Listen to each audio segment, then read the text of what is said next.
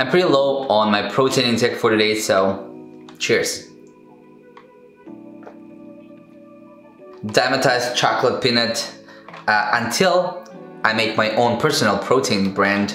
Um, this is as good as it gets. What is going on? Welcome to the video. Now, we've all been in a certain point of our fitness journey inspired by a fat to fit transformation.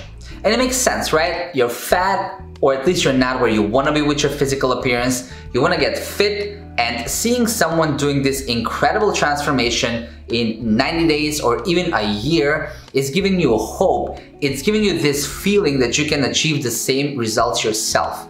And not just that, but it also gives you a time frame to aim for. So it motivates you to start, but also now you have some kind of structure.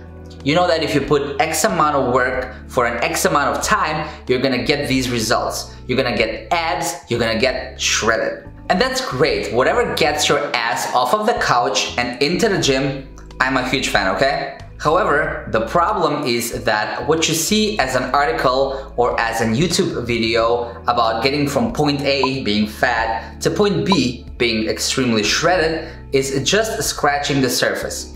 You're missing so much context and it can easily backfire. Here's what I mean by that. I'm not going to talk to you about someone I've seen on YouTube and bash him for maybe using steroids or whatnot. I'm going to tell you about my personal transformation and show you why it's nothing like you think it is. When I did this transformation and when I posted about it, a lot of people asked me the same three questions. How long did it take you? How much weight did you lose? And what was your training plan, program, or split? And the true answers to these questions are, it took me about 90 days, I lost about 15 pounds, and my training plan, my split, was push, pull, legs. But here's the thing, this is not the first time I'm going on a cut for about three months and uh, losing a lot of weight to show off my abs. Let's go back to the first time I did a transformation. It also took me about 90 days. I also lost a lot of weight, probably about 20 pounds. And I did have six pack abs at the end of the journey. But after that transformation, I did not feel good. I did not look good. I mean, I had abs, but I was extremely skinny. I wasn't feeling great. I wasn't feeling confident. I wasn't happy with the results I got at the end. I felt good that I stuck to it for, for the whole period of time, that I now knew where to go from there. I learned a lot and all that, but I did not get the promised results from those YouTube videos I watched uh, from Fat to Fit Transformation. I wasn't looking uh, shredded at the end of the journey. Because you see, in order to lose about 15 to 20 pounds, all you need is discipline, dedication, and about 90 days. I guarantee that anyone can lose about 20 pounds in 90 days if they put in the work. On the other hand though, if you want to build muscle and if you want to look amazing once you get to that 12 to 14% body fat and visible abs, now that's a different story. Okay, now I can see you saying like, but Boban, I saw this amazing transformation on YouTube. This guy went from day one to day 90, from being looking fat and whatever, to being super shredded looking amazing after 90 days, I can send you the video, you're wrong. Okay, well, now I'm gonna tell you how YouTube transformations work and I'll give you a few scenarios because these are the most common ones. The first scenario, the most common one is when an experienced lifter, somebody who lifts for three, four, five, six years, goes on a bulk to build some more muscle, gets a bit carried away or just prefers bulking a little um, dirtier because they like eating burgers, pizza, and whatnot in the off season. Um, they add about 20 pounds uh, of fat for, for no reason whatsoever. And then they go on a cut, they lose those, those 20 pounds in 90 days, they document the journey. I'm gonna say here, we don't know if it took 90 days. That's a, that's a whole different subject, but let's say it's 90 days.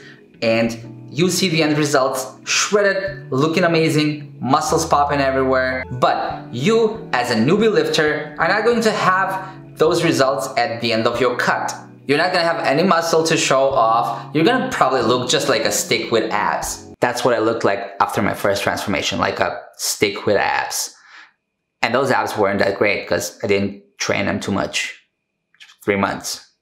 Second scenario is they played a lot of sports or trained something in the past, especially uh, when they were younger. They was they were just not super dedicated and they weren't going to the gym, uh, which doesn't mean that they didn't build a significant amount of muscle. Maybe they were a little chubby even, they were kind of fatter, but they were training a lot, they were running or I don't know, hiking, uh, playing a lot of basketball, soccer, football, whatever they were doing but they did manage to build some muscle. And now that they know a lot more about nutrition, about training, about their body, all those years of like not intentional training and building muscle, uh, it's gonna pay off now. So if you're in this category, good for you. But if you're not, uh, building a lot of muscle and, and looking super shredded and ripped uh, after a short amount of time is probably not gonna happen, okay? So don't get your hopes too high. And the third category, of course, you have the juicing people, the TRT or cycling steroids type of guys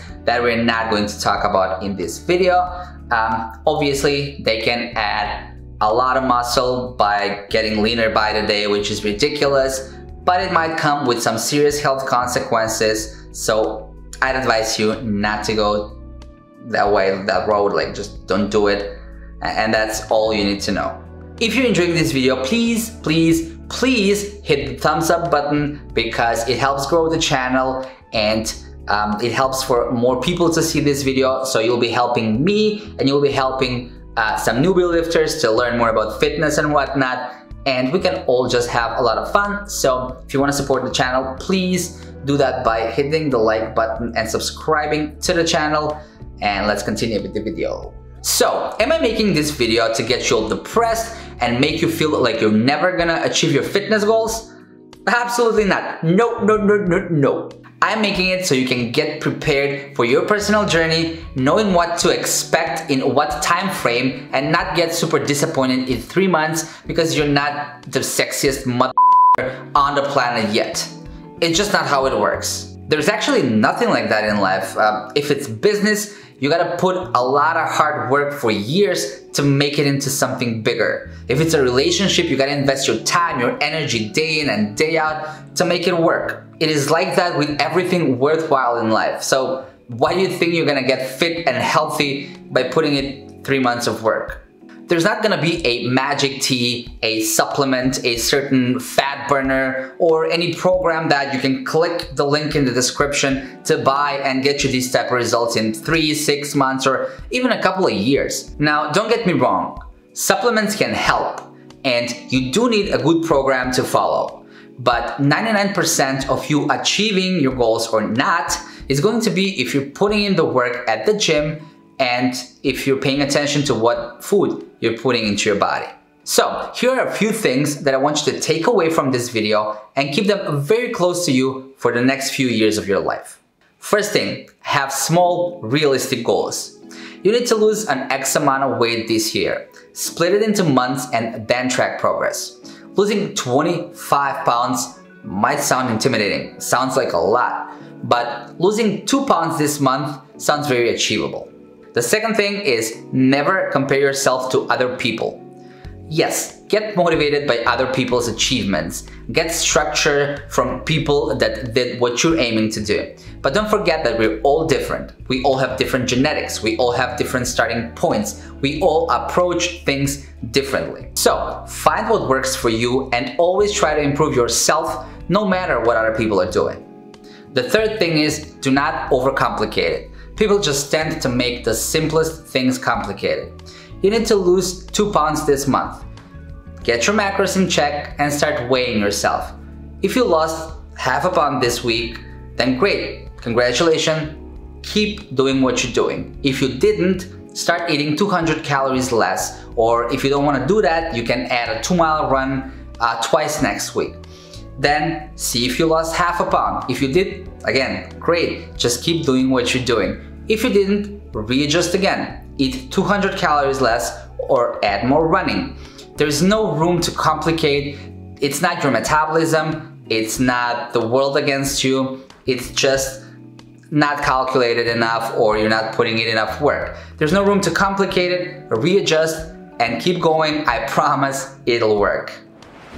Alright my people, I'm gonna wrap up the video here. Thanks a lot for watching. Make sure you hit that like button if you didn't when I mentioned it before. It really helps the channel and more people are gonna see the video if you do so, which means that more bros are gonna be inspired to change their lives for the better, which is the sole purpose of me creating content in the first place. Also, please subscribe to the channel if you haven't already, and I will see you in the next one.